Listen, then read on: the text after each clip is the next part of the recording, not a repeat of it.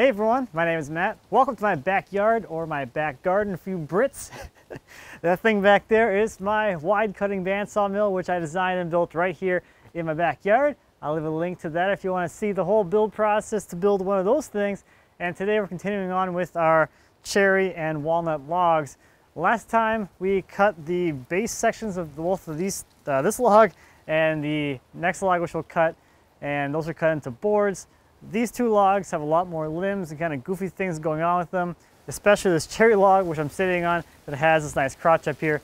I want to turn this log as well as the other uh, two walnut logs into slabs. That should give uh, me a lot more options in the future as far as what I want to do with these things. If I want to use the crotch section of this log later on and resaw it into panels, for instance, like on the sideboard I'm building right now out of walnut, I was able to resaw panels to create all six kind of individual panels from the left all the way around to the right side of the case out of just two slabs. So it's a little bit of a contrast to the last one. We were sawing boards, a little more labor intensive as far as the sawing goes. Slabbing logs like this, pretty quick because you make your cuts and you really don't have to be moving stuff around all that much. So first, let's take a look at this log, which I've all set up ready to saw, and then we'll get into some cutting. So first thing you'll notice about this is this has a bit of a bulge here on this side before we get into the crotch limbs. You can see the log was kind of curving up in that direction. So I have this area here, which I can saw into some, I guess, crotchless boards or shorter than the total length of the log. So I'm debating whether or not I'm going to cut this into a couple of four quarter boards to go with the boards we cut last time, or to cut one big slab. I think I'm going to make the first cut up through here and see what it kind of looks like.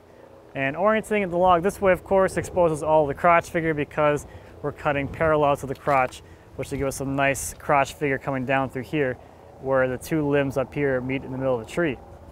I did have to raise this side of the log up a little bit to get this first area nice and even. So I've got this thing up about an inch and a half off the bed down here at this end, which kind of levels out that top cut. So I'm not making a big taper off cut. When I roll this thing over, most of the waste is going to be coming across here and cutting these limbs off, this little wedge piece down here. Now on the base log, we did find out that there was a decent amount of rot in there, and I'm guessing that might have been from where this kind of limb thing used to be, because if we come around to the back side of the log, we can see there is some rot kind of forming down here. This is all dry rot all through here, so the slabs might not be that great towards the bottom there. They might not be that great at all. That's just part of cutting logs, I guess. But hopefully the part that I actually really care about, the crotch section is still in good shape. And just judging by what I see down here, it looks pretty good. This side looks a little iffy. There is a little bit of kind of deterioration there, but again, we'll see. So nothing too exciting to point out at this time. So let's get that first cut made.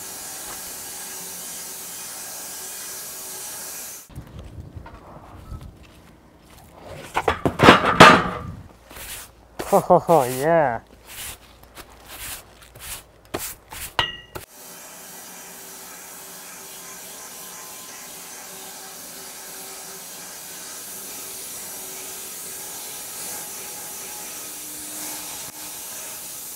I love sawing cherry. It smells so good.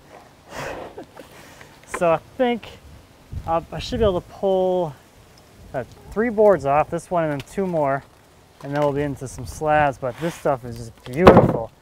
Some beautiful, beautiful color in here. I think what these ones will become is just live edge boards. I won't worry about actually edging them. But they'll be able to be stacked with the other four quarter boards really easily. So let's take a look and see what we're dealing with here. A little rusty today. There we go. Check this out. Isn't that some nice color? Really nice. Getting up to here is where it gets interesting. You start to see some of the figure coming through from the crotch.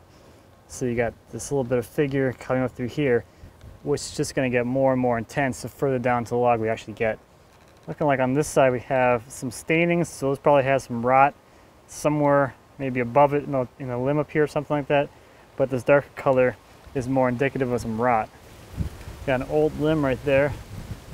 The tree lost a limb and grew around it to heal, which is cool to see. Some interesting gum pockets through here. So those black lines are. I love cherry. It's one of my favorite species to saw and use.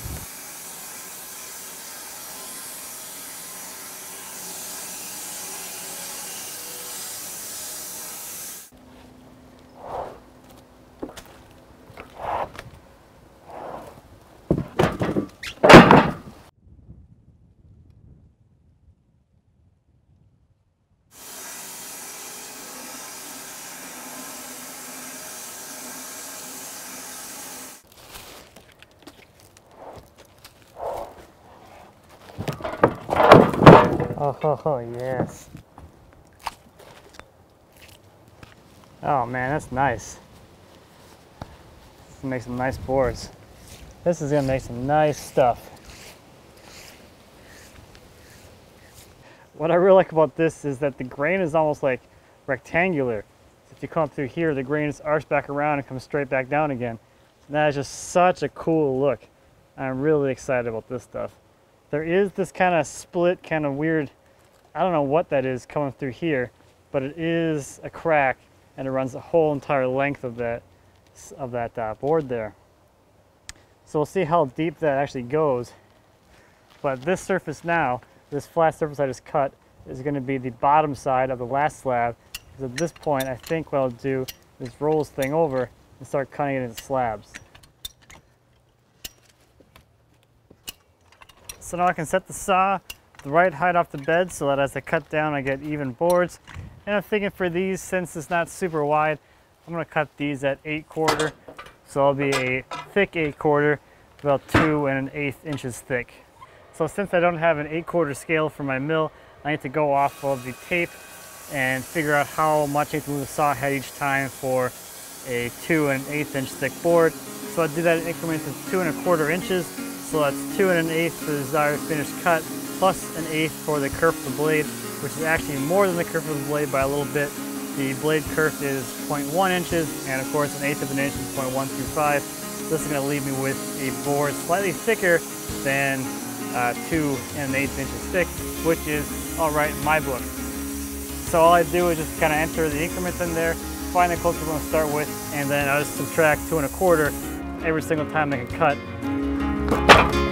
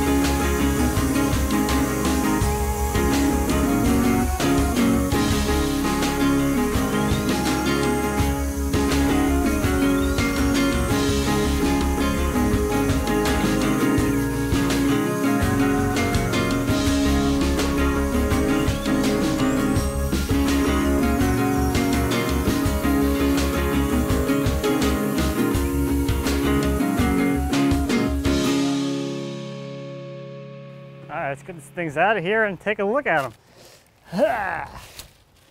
This one's a little small, but still some good stuff in there, it looks like.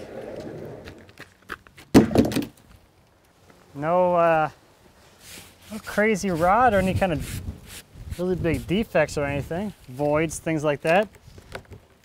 That looks pretty good. Let's see what this guy's got going on. Just kidding, it's not that bad. I don't need to grunt today. Don't need the extra strength.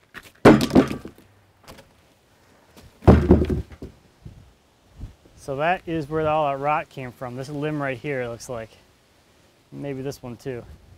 And this little limb here. So I guess all the limbs over the years kind of produce a little bit of rot, but this one was the biggest. Crotch figure starting to show though. That's nice. Always nice to see that. Grab another one here. Oh, oh, oh, oh, oh. yeah, that's amazing. Wait till you see this one. There's some nice crotch figure on this. These two book match slabs, this one and the next one off of here, they're gonna have the most crotch figure and it's pretty decent amount.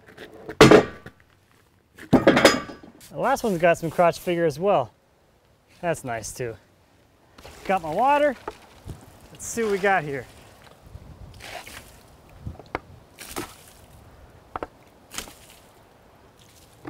Check out the color in this. The one thing I like about cherry where it has some rot standing or there's some rot somewhere in the log near it is you get a much more red color out of the wood because it is stained but it's not actually rotten. It just has the color characteristics of dry rot which is really cool. So a little bit of crotch figure in this first one. Not a whole lot, but you're starting to see it kind of poking through there. But as we go on to the next guy, we start to see some more serious crotch figure there. And then up the rest of the slab. Got a little bit of rot here and there around some of the knots. And then there's the, the bigger one, which kind of let a lot of the rot down into the lower log. This guy is the good one. That's got some more significant crotch figure in it. Really, really nice feather there. Looks pretty cool. Got a little spalting here too through here. So we've got a little spalt here and there. All that black stuff there is all spalting. Up through here, got some more of that rot infiltration. So another one of those big limbs. Let a lot of rot kind of coming down here into the main trunk of the tree and instead of down to the other log which was cut last time. A lot of cool color though. This guy, before I put water on it, I want to show you the dry rot so you can really see when it's actually dry like this that all of this through here is all dry rot. So it's got kind of a grayish yellow kind of color to it. You can see this white stuff forming through here. That's all fungi. So it's actually rotting through here. But that's okay. if we want to use that as is, we can always stabilize it. Otherwise, you can cut around it and all the stuff on this side is perfect. It's actually pretty close to quarter sawn or right around there. You got some really nice straight grain stock there and it's just gorgeous. Then you of course have this nice bit of crotch feather up here. So let's take a look at this guy next. Splish splash and whatnot. That's a good one. Oh, missed a spot. Oop. So this face on this one will be the book match of the nice one, which is put away. So it's pretty much exactly the same as that last one. There's that rot now that we have some water on there. Still pretty cool though you can see how so the crotch figure rots a little bit. So you can see this kind of ripple coming through here. That was the crotch figure, but that's all rotten now. and back down here, there's those few little bits of spalting next to that nice crotch figure right through there. So then the bottom side of this one is actually the top side of this one here. So you can see there's that kind of split thing up through here. You can see some more of that white fungi stuff some really nice color though. And we got a nice burst of crotch figure down here as well, which is always nice. So let me get these ones stacked and out of here, and then we can move on.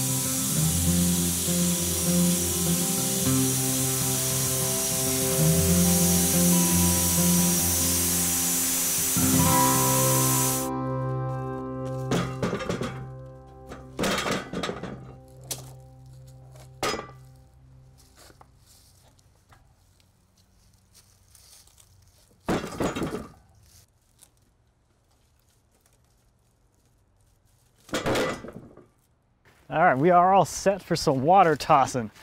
Let's see what these things look like. You can already see like how green they are because they're just cut again.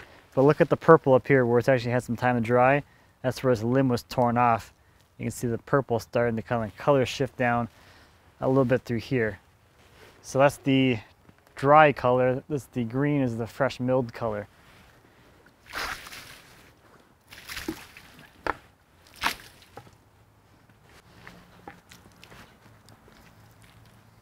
So I'm actually kind of surprised how clear these are. There's not a whole lot of super crazy stuff, especially towards the middle of the log.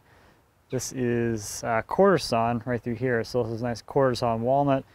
So some really nice, actually really nice straight green stuff through here, which is really nice. Got some sprinkling of crotch figure throughout the slabs.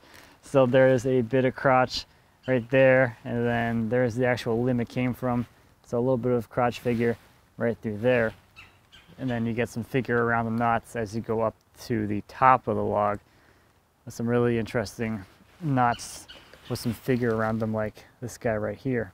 As we get towards the top where we get kind of the limbs that I was trying to kind of split in half, you get some crotch figure coming in from here and from there. So a little bit of double crotch action on this guy, but the, the center area here coming up, that's just a really cool look something about that just looks really interesting to me. Okay, the next uh, three, let's take a look at those. So I just used these slabs to help clamp down the, uh, the other boards that are on the mill right now. That was the last cut off of that uh, cant that we did last time. So if you haven't seen that video, I'll leave a link to that. That was like the first part of this kind of series thing. So let's take a look at uh, what these guys look like. Get more water. There. These are beautiful. That's just incredible. So starting with the crotchiest one, this is probably going to be eh, probably the best one. It's got the most amount of crotch figure here. This is exactly what I was going for with splitting that crotch uh, through both of these limbs, so exposed crotch figure from both limbs. So success there. But man, it's just crazy how clear this is through the center here. Not a whole lot going on. We got a little pack of knots right there. But coming down through here until we get to this other limb down here, that's some nice straight grain stuff right there. Beautiful. As we get towards the outside of the log, things get a little bit uh, crazier. Start getting a lot more of those bullseye type knots as we get closer to the outside of the log where those limbs actually lived. We got that big old bullseye up there because just that limb that was coming out straight down that way into the ground from this orientation. Overall though, I'm quite pleased with this. so next real quick, I'm gonna grab that smaller section of log, that uh, mostly crotch section, and get that thing up onto the mill and get it sliced up. With this one, I'm mostly looking to expose the crotch figure from the upper two limbs. That should give me a little bit of interesting figure and they'll give us some nice fun looking crotch slabs. so with this thing being as small as it is, it should be pretty easy to just get it up there and get slicing.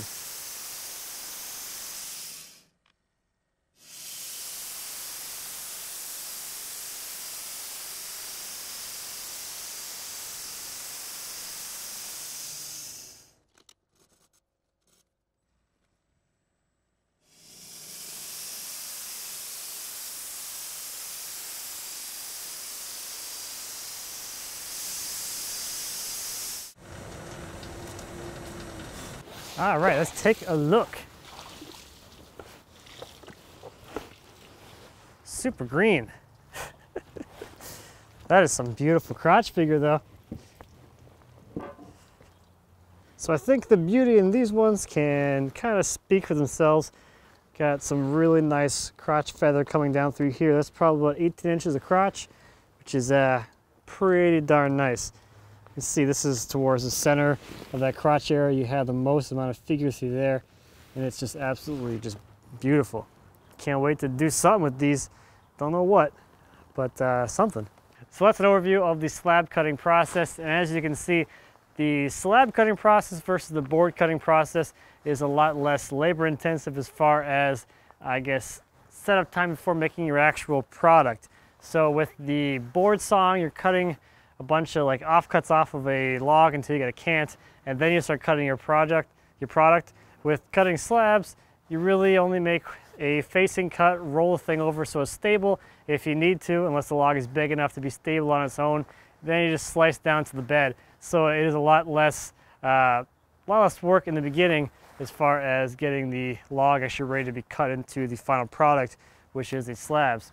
And the other thing with cutting slabs is once you make your initial cut, you're kind of locked into that cut orientation. You're gonna cut that way through the log. You're not gonna be able to kind of flip around and cut from whatever side you want like you are when you're cutting boards. So that's something to consider as well. Now, kind of reflecting back on what we talked about at the end of the last video about edging, if you're actually doing board production, you're probably doing a whole lot of actually edging with the saw itself. You have a separate edger for that.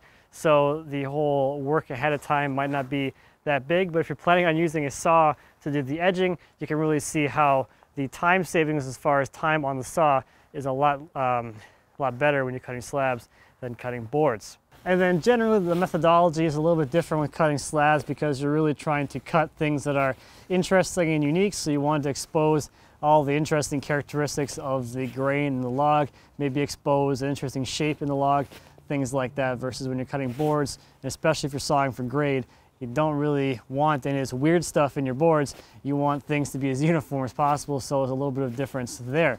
So that does it for part two of the series. Next time we're gonna take a look at the rest of the process because this is just the beginning. There's a whole lot more that goes into producing lumber than just what you see as far as cutting on the mill goes. So we'll cover disposal of all the waste, so all the offcuts and all the sawdust. We'll also cover stacking and drawing and how that's a little bit different with slabs versus boards and uh, bring things right around to a finished dried product. So that should be pretty sweet. I'll leave you a link to that playlist in case you happen to find this one for whatever reason. That'll give you uh, a quick way to get to part one, which is last time, this video, as well as next time's video about uh, everything else.